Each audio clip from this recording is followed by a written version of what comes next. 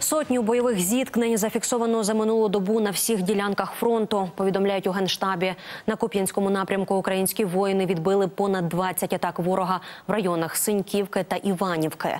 На Бахмутському напрямку ворог марно намагався повернути собі втрачені позиції в районі Кліщіївки. Крім того, сили оборони України продовжують штурмові дії південніше Бахмута, завдають ворогу втрат у живій силі та техніці, закріплюються на досягнутих рубежах. Гаряче було і на Таврійському напрямку. Там ЗСУ встановили рекорд зі знищення військової техніки росіян.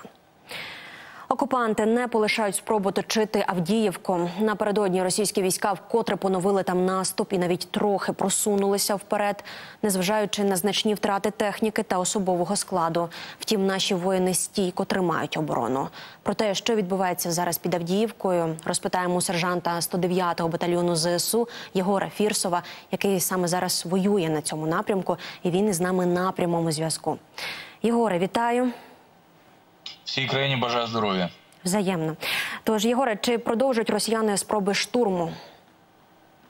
Продовжують постійно тактичний задум їх взяти висоти. Бої точаться, як правило, за трикон, який біля Авдіївського коксохімічного заводу. Ось е, декілька разів навіть е, ворог брав е, цей трикон, але в принципі всі ці орки залишились там. А ось тільки наш екіпаж FPV знищив буквально. Буквально сьогодні один ворожий танк. До цього декілька гаубиць, Д-30. Тому бої точаться, бої дуже напружені. Ми відчуваємо, що ворог перегруповується і буде продовжувати тиснути.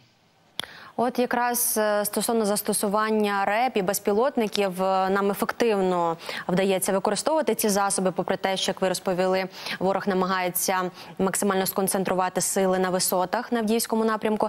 Е, я знаю, що ви працювали над модернізацією, зокрема fpv дронів. Можливо, можете поділитися інформацією, як змінюється їх робота на фронті, як власне зараз працює на цьому напрямку.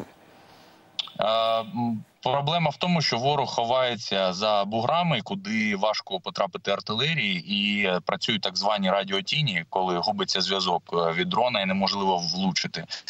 Але скажімо так, з те, що я можу розказати, тому що ворог все моніторить. Е, в нас є певні ретранслятори, які посилюють сигнал. Ось і це дозволяє нам летіти на FPV-дроні не на 5-7 кілометрів, а навіть вглибше залетати прямо в радіотіні і бити ворога. Ось, в принципі, ви навіть демонструєте до речі, кадри нашої роботи.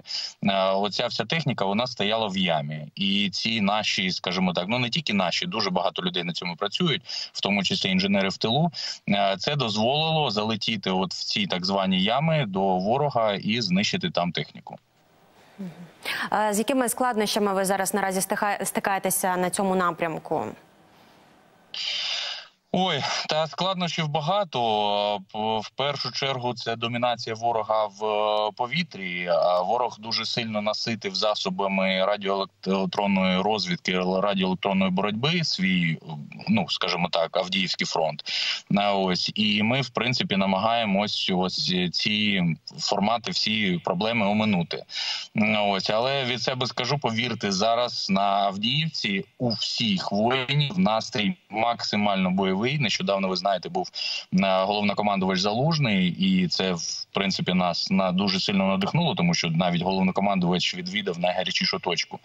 Е, ось і перед нами стоїть завдання розбити ворога під Авдіївкою. Саме розбити, не просто зберегти позиції, а знищити його таким чином, щоб він вже не міг далі вести бойові дії. Ворога була деморалізація і далі продовжувати, ну скажімо так, контрнаступальні дії, тому що Авдіївка це є воротами, так званими на Донецьк, повністю периметр Донецька прострілюється, і перед нами стоїть саме така задача завдати ворогу непоправних втрат.